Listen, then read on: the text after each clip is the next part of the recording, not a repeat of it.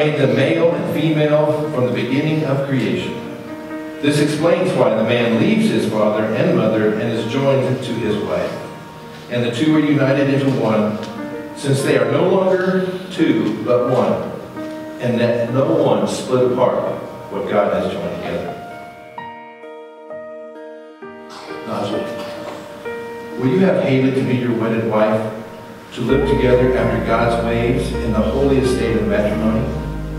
Will you love her, comfort her, honor her, and keep her in sickness and health, and forsaking all others? Be faithful to her as long as you both shall live. Haylie, will you have Najee to be your wedded husband, to live together after God's way in the holy estate of matrimony? Will you love him and comfort him and honor him and keep him in sickness and in health and forsaking all others? Be faithful to him as long as you both shall live.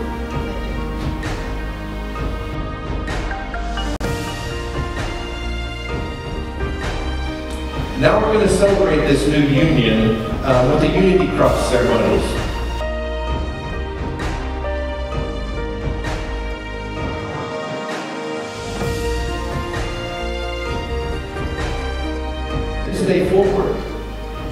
The sight of and